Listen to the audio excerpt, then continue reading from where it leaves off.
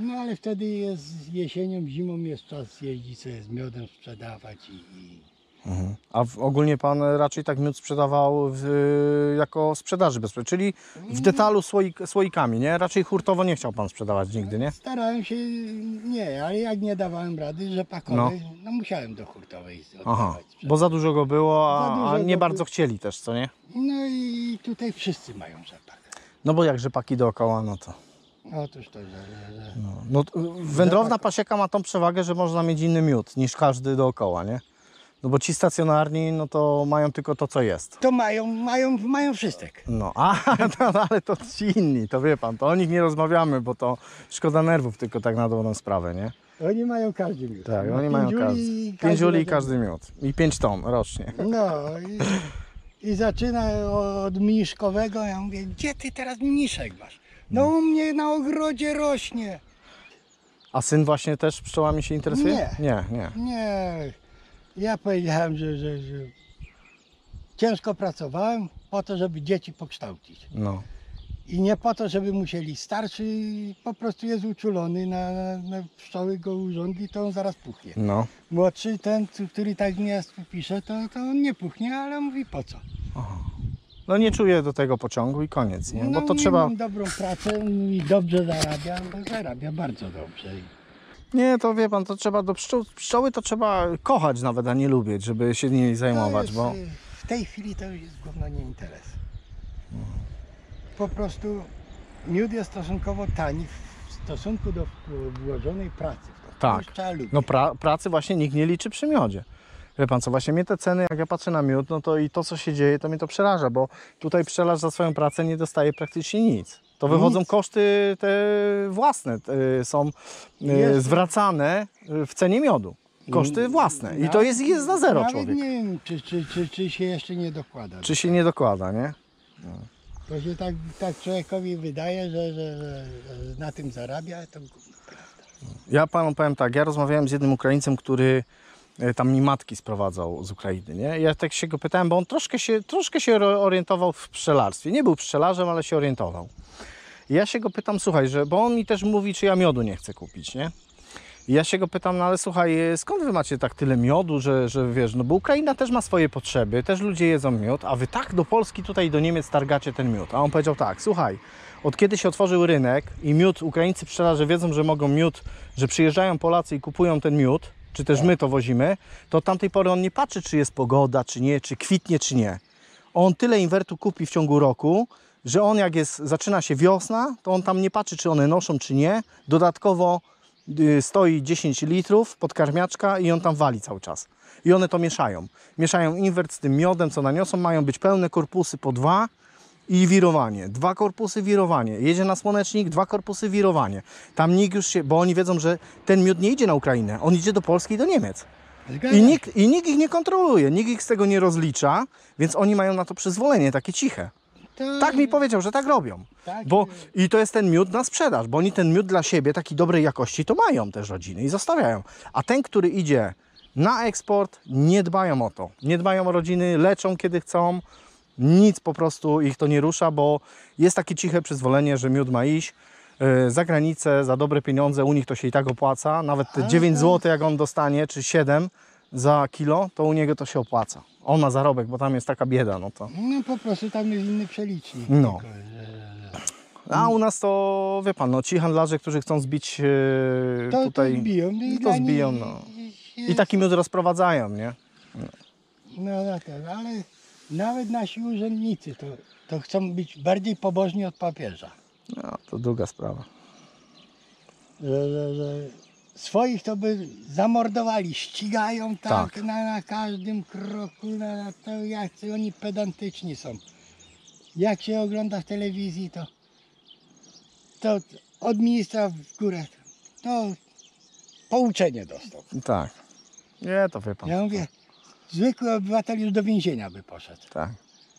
a poseł dostaje pouczenie, radny dostaje upomnienie, a obywatel idzie, to bo, bo to jest ten na kółko. No wiem, wiem, wiem. Mhm. Ja kółko zdejmuję, jak, nawet jak jadę, mówię, bo nieraz głupoty gdzieś się po dziurach zahaczy kółkiem. Y, I się w urwie albo coś, nie? Po co mi to? To, to i te, te podpory odkręcam i tam w czasie do, do jazdy Mhm. one sobie w samochodzie jadą. Mhm. No właśnie te podpory no, muszą być. Y, Ja mam jeszcze tą wysuwaną szufladę, to ja muszę mieć kółko na wysuwanej szufladzie. Nie mam jeszcze, ale muszę so- sobie zamontować. Ale to, to, to też, też widziałem kolegów na, na, na, na Włoci, jak stałem w czerwonej wodzie. To też mieli. Rozsuwane. Środek wysuwany, ja No. ale musicie być we dwóch. No, no musi być we No. dwóch, no bo, bo to nie wysuwa. Bo nie da, nie da rady. Ja przy swoich, ja mam tam tylko pięć na przecież na wysuwanej. Pięć uli stoi. A ciężko jest bardzo. Nie? To jest jednak waga, nie? To jest raz, że waga, No. mówię, nawet to kółko, mówię, to, to jest dobrze, powiedzmy, jeszcze po takiej trawie, jak tu jest równo. Mm. Ale gdzieś wystarczy, że będziesz na, na, na innym tym, na piachu i ci kółko ugrzęźnie, już nie uciągniesz, nie wysuniesz, nie, nie dasz rady. Mhm. No przecież tu mogłem spokojnie porobić jeszcze środkowy rząd. Ja mówię, ale po co on mi potrzebny? Ja mówię, ja wolę jeden kurs więcej zrobić. Nawet te, te, te są jak za długie. Bo miałem przy tamtej, że, że były tu z boku i one się nie mieściły. To No. wolę szpadelek wieść ze sobą i, i w ziemi dołek wykopać, że, że, że, Że wejdzie. A te są dłuższe niż tam z tyłu. Z tyłu widzę krótsze są, nie? bo z tyłu są krótsze. No bo są niżej. obcięte. No, no, no. Nie, nie było potrzeby, bo mi wystawało poza ten. Nawet jak ule stały, to, to, to mi lotek zasłaniało. Mm. Po co mi to? Nie ma potrzeby, a idę pod kulę. No, powietrza dostał. To... Odzyskał oddech. Tak.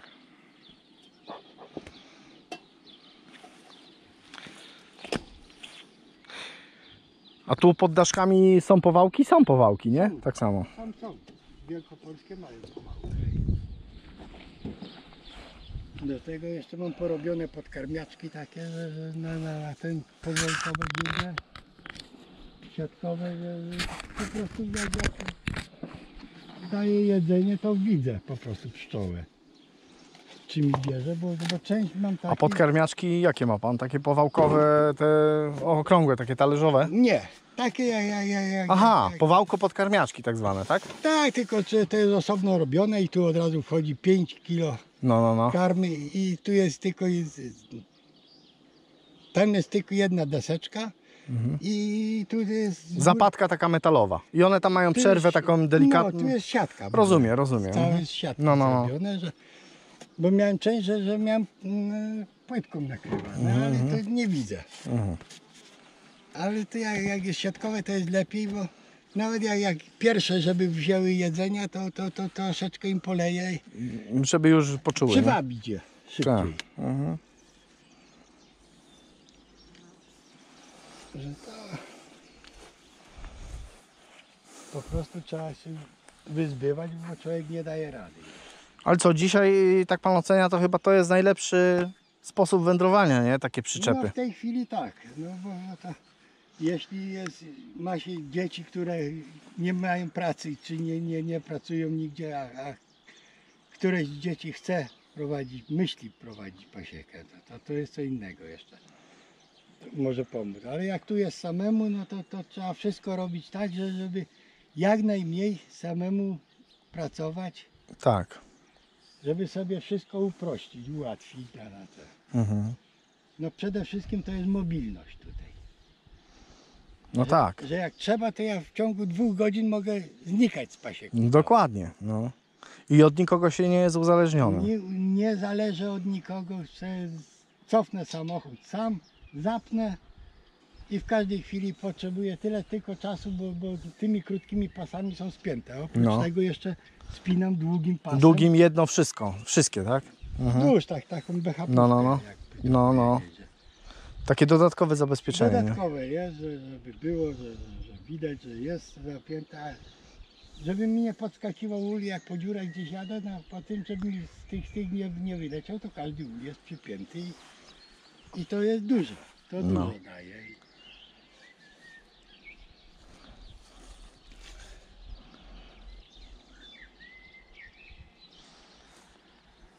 Że, że busem się podjeżdża i tak dalej. Y, eksploatacja takiej przyczepy rocznie. Jakie to są koszty? Przegląd ile? Stu, stówkę chyba? Stówę przegląd, no i I ubezpieczenie też chyba stówę, nie? No ale ta jest, nie, ubezpieczenie więcej teraz. A, więcej kosztuje takie Jeszcze przyczepy? więcej. Aha. Nie, bo ja tam mam przyczepę 750, to płacę tak do stówy. No, Te są droższe 750 trochę. To, to, to są bardzo tanie. No. To tam ja też taką mam. To ile? Z dwie stówy taka przyczepa? Czy A nawet bym musiał dowód rejestracyjny zobaczyć, bo tam ubezpieczenie jest. tak mi się wydaje, że chyba więcej niż dwie stówy to za przyczepę taką e, się nie zapłaci. To jeszcze zależy jaki, który ubezpieczyciel u kogo i ile ściągnie. No Tam bym musiał zobaczyć, bo ona jest na cały rok ubezpieczona. No. A razu płacę ubezpieczenie za cały rok. A widział pan, e, że niektórzy robią takie same platformy, podjeżdżają lawetą pod nie, Tak. podciągają podpory, ona opada, zawód. Co pan myśli o tym? Tak jakby pan miał od, od nowa zacząć, to nie, po, nie poszedłby pan na przykład w platformy? Nie. No bo jednak tą platformę trzeba trochę czasu, żeby ją e, założyć i, i zdjąć z przyczepy. No, to, to, to, to, powiedzmy, że i- i- cofniesz pan pod nią, No, jak ona stoi na nóżkach. no. Opuścisz pan, ale pojedziesz pan w teren, jak ją podnieść do góry? Nie, to, to jest rozwiązanie, to jest y, taki high lift, jest taki duży podnośnik, jak kolejowy kiedyś był. No, Wie pan, podkłada pan tu, gdzieś jest mocowanie i podciąga i wtedy pan rozkłada podpory, idzie z drugiej strony, to samo i wyjeżdża. Nie, nie, nie, to jest rozwiązanie na to, nie? Jest, no ale już musisz pan mieć miejsca na tyle, żeby, żeby dodatkowo... ten- Dodatkowo wyjechać, no, a Wyjechać. to nie zawsze w terenie jest gdzie, nie? Zgadza No. się. Ja uważam, przecież na Grykę jak jeździłem, koło Międzylesia stałem, to z No. gospodarzem miałem tak umówione, że mi pozwolił, bo na drodze z tym nie mogę stanąć. Bo jest na dwie strony muszę mieć. No tak, tak, tak, tak, tak. tak. No to mi pozwolił, że, że cofnąć w Grykę, No, w jego Grykę. No to z drogi od razu tak, na wstecznym i powolutku, że, że dyszel do, do, do drogi sięgał, że, że, No. a reszta była w polu. a reszta w Gryce stała. No, no, no. I to, ale już miały na dwie strony i sobie mogły lecieć. Mhm, Bo kolega też tam jeździł. On mówi, on wy, wygodnie, bo same ule jest młody, jeszcze tata pomaga na ta, ten. Ja mówię, też takie ule masz z poliuretanu i ze styropianu. Wszystko, mówię, 80 uli postawił w jednym rzędzie, wszystkie na jeden kolor pomalowany. Ja No. mówię, 10 z jednego brzegu, 10 z drugiego, brody wiszą No, do ziemi, korpusy tak nastawiane, że, że wieżowce, a środek na jednym korpusie tak jak, jak zimowy. mhm. Ja mówię, no i po co ci to? Ja mówię, miejsca mało miałeś? no tak. Ja mówię, zamiast po 20 poustawiać, porozstawiać. Po, A jak pan właśnie jedzie na jakiś pożytek, to pan w, jeden, y, w jedno miejsce maksymalnie ile? Dwie przyczepy na No, jedno pole? no, Czy no. zależy od pola? Zależy od wielkości chyba, nie? No i, i zależy gdzie tutaj. Na przykład na wakacje jak tam jadę, to, to starałem się cofać drogi między drzewa No. sobie, ale tak, żebym nie widział. Ale w sensie cztery przyczepy mniej więcej w jedno miejsce. W jednym miejscu. Aha. sobie Czyli te sto, stouli, y, że tak powiem, na jeden pożytek to nie jest jakoś za dużo, nie? No tym bardziej, że, że, że powiedzmy na, na rzepaku, gdzie, gdzie No. decyduje krótszy, krótszy No. dzień i jeszcze decyduje często pogoda i No. słabsze rodziny są, że one bliżej lecą, to chodzi, żeby jak najbliżej miały. Mhm. To, to, to rozstawiam i ciągle jestem tu, że, że tam nie nocuję, na No, no, rzepaku no. nie nocuję przy ulach.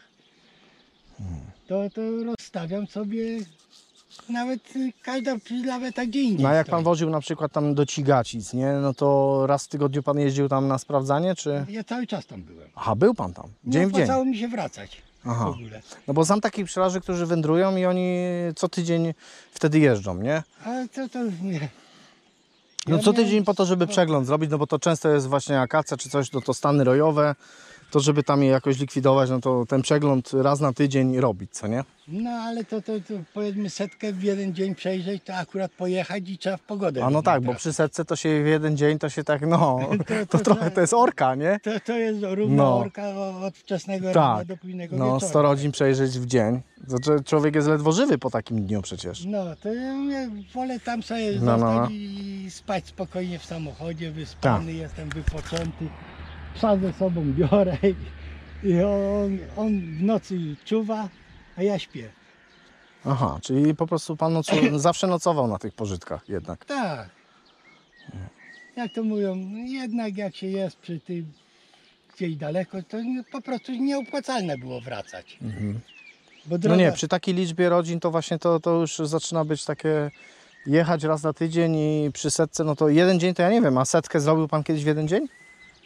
Raczej nie. Raczej nie, bo to, to też jest przecież ileż to można. Przecież to czas leci, a każdy ul tam z 10 minut wymaga, nie? Ojej. Może, no 10 minut To, to, to jest bardzo szybko. to jest szybko, nie? To jest no. bardzo Bo szybko. mówimy tu o likwidacji, kiedy są stany rojowe, wtedy kiedy trzeba przejrzeć. No bo trzeba zdjąć to, No, 10 tych ramek po kolei, to dwie trzeba wyjąć no, i dopiero pozostałe sobie przesuwam. Każdą trzeba wyjąć, obejrzeć. no. Ale jak pan tak, y, nie przegląda pan tak y, uli, że na przykład zdejmie pan, wyjmie pan dwie ramki, już pan wszystko wie? Nie, przegląda pan każdą ramkę. Każde przegląd. Bo to jednak to jest tak, że trzy ramki się wyciągnie, nie ma nic, a na czwartej jest matecznik. O, mało. tego.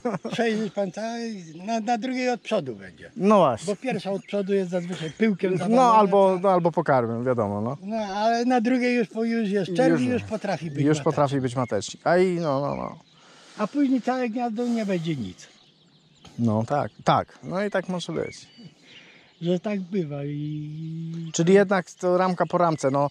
Bo są tacy pszczelarze, którzy się tam przechwalają, że on tylko podnosi od dołu No, yy, i patrzy, czy nie ma mateczników i wszystko. No ale przecież to jest... kolega tu, nie wiem, czy... To na 100 rodzin to może tak robić, ale te, te, te 20 może mu się wyrobić mimo wszystko, nie? Mówi, tak, mówi, ja chyba zrobię taką metodę, bo jakiś w poznańskim gdzieś, Tak ktoś robi, nie? Jakiś z Ukrainy facet No. ma 600 czy 700 rodzin i on nie przegląda, tylko, Tylko od spodu zagląda. korpusy przewraca Tak. do góry dnem. Tak, i patrzy. Tam Nawet pod nie spodu. patrzy, na, na, na 2-3 dni zostawia, bo matecznik zawsze, nigdy nie będzie stał do góry. No, Tylko go by musiały obrócić. no. To nowy, jak, jak chcą założyć już odwrotnie, to on potem przewróci z powrotem Aha. i bez przeglądania. Aha.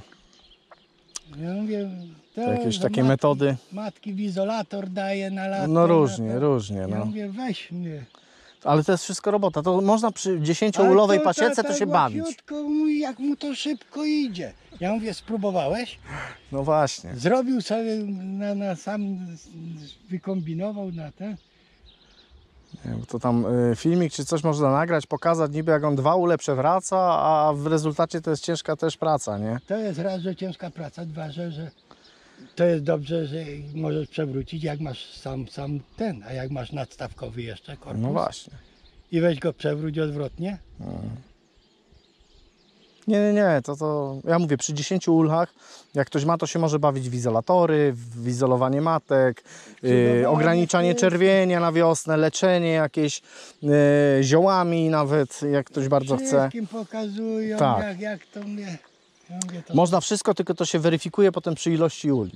Im to. więcej uli, tym nagle człowiek dochodzi do wniosku, że jednak tu trzeba troszkę inaczej funkcjonować, bo się nie da. No, to to swego czasu w telewizji powiedział kucharz taki. Mówi, jak zaczynałem, to miałem cały ten noży. No, A z czasem się okazało, że Jeden. wystarczył jeden. jeden już tak, jeden, który będzie do wszystkiego. No, zgadza się. Tak. Tak I potem, i tak tu. Chińczycy, przecież Chińczycy mają swój toporek, czy tam Japończycy, Tasaczek ci, taki, taki tasaczek i on im wszystko robi. Tak. Wszystko, filetuje, rąbie, tnie, sieka, no wszystko robią tym. Tak. Ja mówię, no wziąć teraz tu, masz dwa korpusy. Mówię, weź go, odwróć, że, żeby nie przeglądać, tylko żeby mateczniki, No, no. jak, jak są na to. Mówię, jak go zrobisz? Ja mówię, albo ma 600 uli, czy, czy ponad 600 i, i daje radę No. i sam robi. Ja mówię, sam? To ma pan tam y, łapki? To są łapki na osy? Te butelki? Nie, to były woda nalewana, bo to jest na czereśni dociążane było, żeby Aha. gałęzie, Aha, aha, bo tak mówię. żeby nie uciekała A jak do tam z góry. osami y, w tym roku? Osy, To na szerszenie? razie, na razie jeszcze nie ma. I Osy spokój dopiero jest, nie? się w sierpniu zaczynają. No, tak mocno, nie? No bo u osób szerszeni to tylko zimuje królowa. Tak. I od jednej się zaczyna. Zaczyna się od jednej. Że, że, że praktycznie cała ich ilość jest jesienią. Tak, tak, tak, tak. W sierpniu, wrześniu i na, na, na tym maksymalna ilość wtedy jest bardzo dużo. I Mhm. potem znowu te wyginą, robotnice wszystkie, zostaje tylko królowa. Że, że na, Mhm. na jesień to bardzo dużo tych królowych os jest, które mają zamiar przezimować. A no to, to, to nie są pszczoły. To. A w tym roku wiosna późno była, że jeszcze na razie tu os nie widziałem. Szerszeń się już pokazywał. To No to u mnie to samo też. Szerszenie już chodzą. jak, jak, jak przy lesie stoję na, na, na lipie gdzieś, czy w lesie nawet, no, to tam się szerszenie pokazują. No One to- tutaj, tu, tu, tu w tych ulach, to tam są, widzę, trzy korpusy, to tak poważnie te rodziny naniosły? Że już no, dwa W tych korpusy? dwóch korpusach jest praktycznie jest miód będzie do Aha, brania. aha. No to I tutaj też tak samo? Też. No to ładnie, to ładnie tej lipy tutaj jest. No tu jest jej sporo, tu cały No. las, to, to, to, to jak, jakby się jechało, to, to, to widać teraz. teraz Ale to widać, widać, że w lesie są lipy, czy one są tutaj tak przy drogach jak tak. W zawsze? lesie. A w lesie są lipy. A, Tak. no to, To i to, tak ich jest teraz mniej. to nie zawsze tak w lesie rosną lipy, nie? No tu właśnie było to, tu wzdłuż rzeki, w dół, tam w No. stronę Niemczy, to cała, cała dolina to było. To lip było bardzo Aha, dużo. aha. Czyli teraz już to no, wycinają, wiadomo. No, to, to poprzedni leśnik. No ja teraz jestem w Lądku, to tam w Lądku też jest sporo lip. Rośnie w całym, i tam w parku i w ogóle wszystkie ulice to są w lipach po, obrośnięte. Po, po mieście to, to lubią często być te szerokolistne, te, te, te wcześniej. Ale są też dobre, bo one już przekwitły, jest ich kilka, ale teraz widzę właśnie u nas tam w Lądku startują dopiero. Dopiero się No, otwierają, no, nie? Późniejsze są. No, późniejsze są, nie? Jeszcze... No ja już zakończyłem sezon u siebie. Ja już teraz facelię z tą właśnie z tą akacją wybrałem. E, Ja już, już pierwszą dawkę podkarmiłem. A teraz wrócę, zacznę leczyć i No to tam zimą. Ja tutaj miałem też na, na tym, że, że zimą po prostu musiałem część tych styropianów jest, że, że, że ma wstawione, zwłaszcza z tych, tych innych no. e, płytę. Po prostu, bo mi zdjęcie, Aha, że po prostu przekuł mi. przekuł jednak. A No, kurde. styropian No, przekuł. u mnie jeszcze nie miałem, jeszcze nie miałem przyjemności z Mam tych, yy, A widziałem gdzieś. A tam jest. Tam y, ten niebieski, pierwszy z brzegu. Tam jest płyta? OSB chyba, tak? ASB. tam- No, no, no. Gdzieś wstawiałem, bo mi zdjęcie normalnie Przekuł. wykuł dziurę i do pszczół. No, no, no. Bo tu jest cieniutka ścianka. Aha. I on jak, jak siądzie na, na, na, na most, No. to, to, to, to słyszy pszczołę tam. Wie pan co, jeszcze tak się zastanawiałem, e, czy właśnie na taką przyczepę e, zamiast takich uli nie, nie lepsze by były jednościenne drewniane. A to może ja to tu mam, kupiłem taką nakrety, siatkę No, plastikową o cienkich oczkach i sobie na zimę po prostu na, na, na, na daszkach tu cegłami troszkę przyciśnięte. no i żeby od tych dzięciołów odtegować, I nie? tutaj sobie wisi, że pszczoła przez tą siatkę Przeleci. przeleci. a- No. Nie no, siatki wiele osób stosuje. Tam, gdzie właśnie to jest taki wystarczy- rejon, gdzie te dzięcioły występują, Czy dzięcioł, czy sikorka, czy No. cokolwiek, to, to już jak ta siatka się rusza, to ona się płoszy i nie chce podchodzić, nie? odstrasza. No, no, no. Zgadza się. To pan to w sumie tak jak y, ten to od dziecka, nie? Przy pszczołach. No praktycznie tak. Jak się urodziłem, to już pszczoły były. Były w domu, nie? Bo i dziadek tam miał. Ale jak pamiętam tamte czasy, jeszcze jak, jak byłem mniejszy.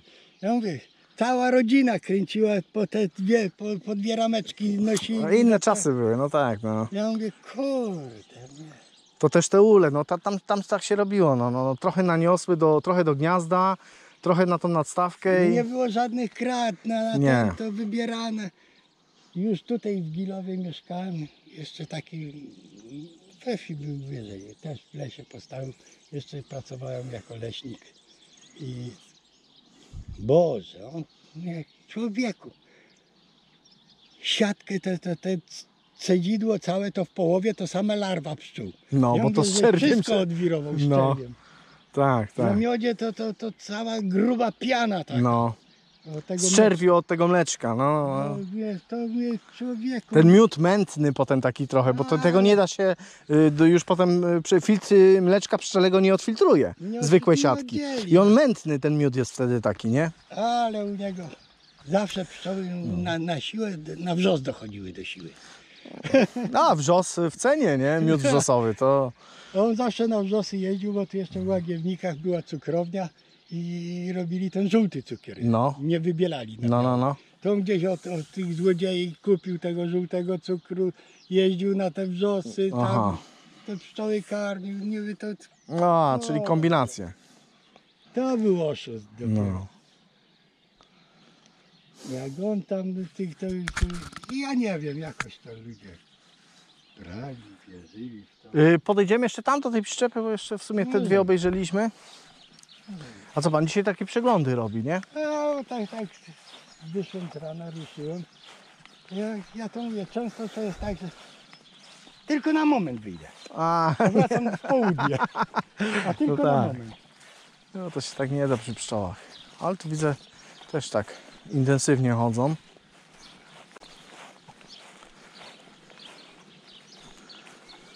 No, no, no tutaj takie o, schodki sobie zrobiłem, No, żeby wchodzić do środka. Wszędzie są podokładane.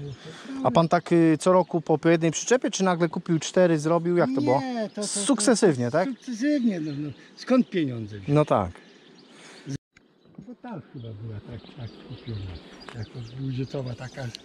One są wąskie i, sam, i same kraty, tak, No. same kraty bez jakichś tam większych ram.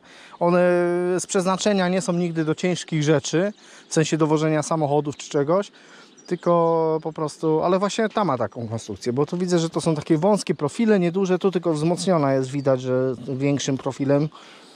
I też, żeby pan podniósł ją, to widzę, że nakładał jeden profil na drugi, co nie? Tak, tak, bo są dwie dziesiątki.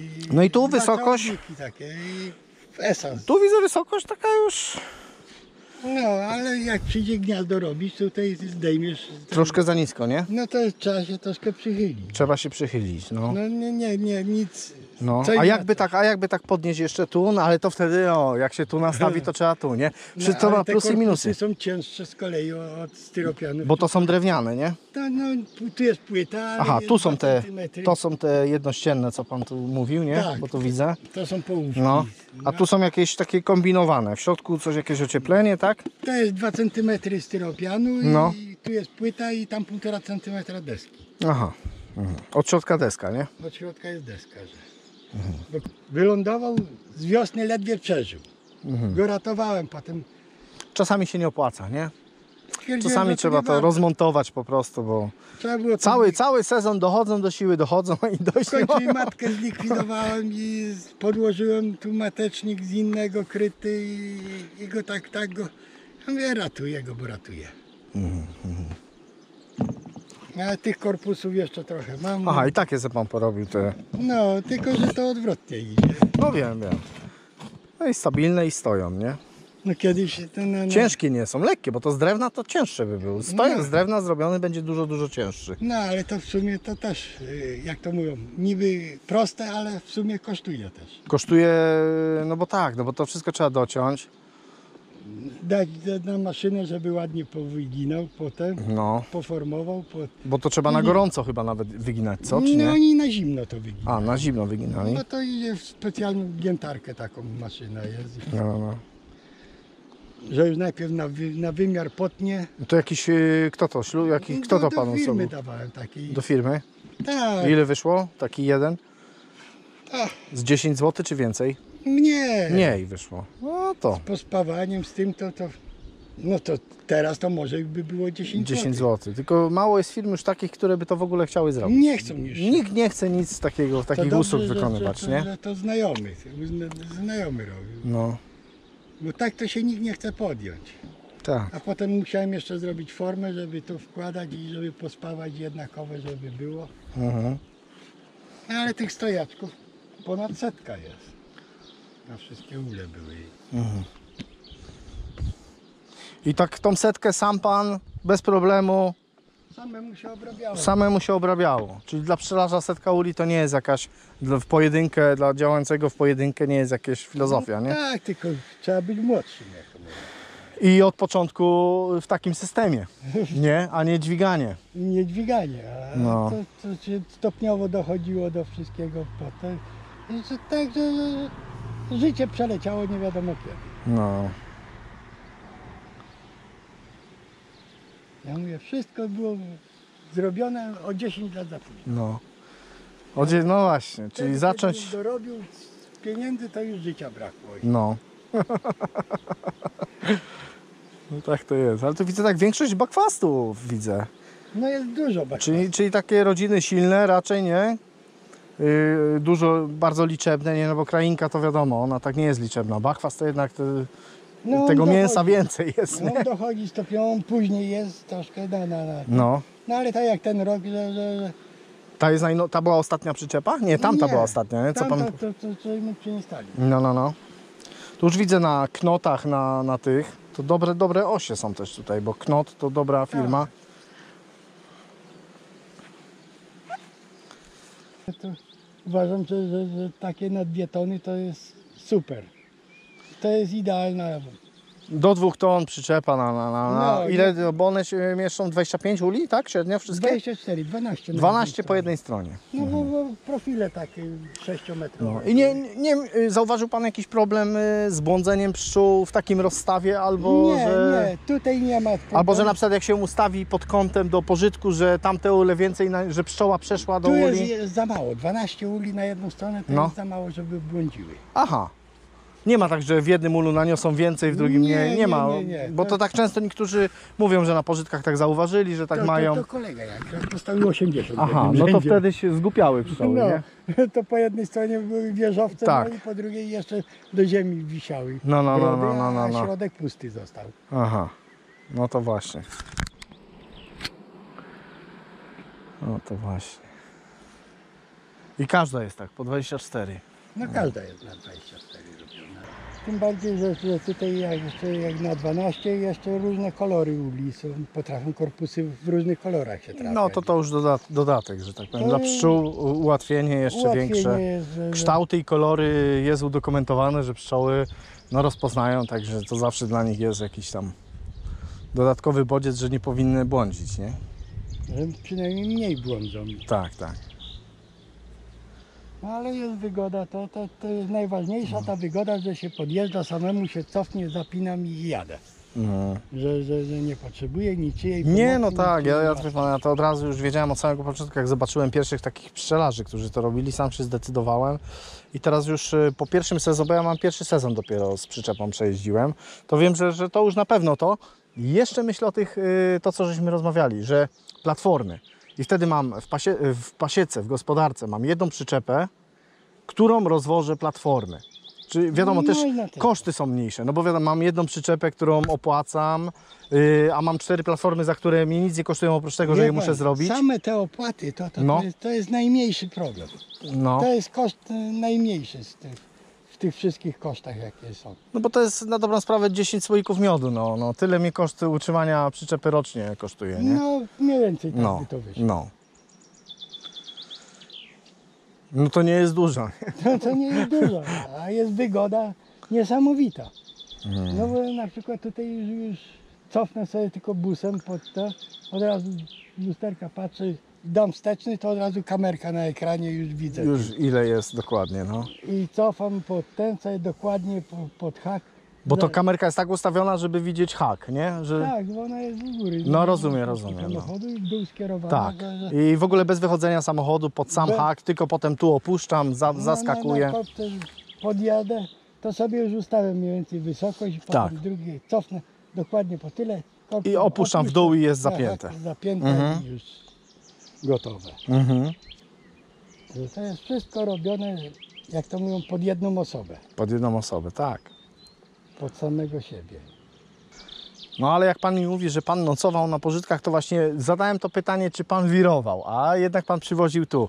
Ale bo to, ale bo kwestia miodarki, że miodarka już była taka duża, że się do samochodu nie. Ale nie, masę to jest by takich, co jeszcze właśnie wirują na pożytkach, gdzieś No, tam. ale Gdzie, raz, żebym musiał mieć agregat prądotwórczy. Tak, dodatkowo. no musiałby być. Dwa, że, że, że, że tych baniek, wszystkiego pojemników, przecież jak ja tam wezmę, to to... No właśnie, to bo przecież z czterech, z czterech y, przyczep to, to, to, to trzeba mieć ze, ze trzy 250-litrowe odstojniki przynajmniej. No otóż to. Nie, jak jest dobry y, ten pożytek. No potrafiło być, że, że, że... Nie, spokojnie, to, tona więcej. No to co, ale Przecież. tylko tonę przyjąć. No. Tona to jest... y, To jest cztery takie to jest- odstojniki 250, no, no, nie? to jest powiedzmy średnia 10 kg czy ponad No.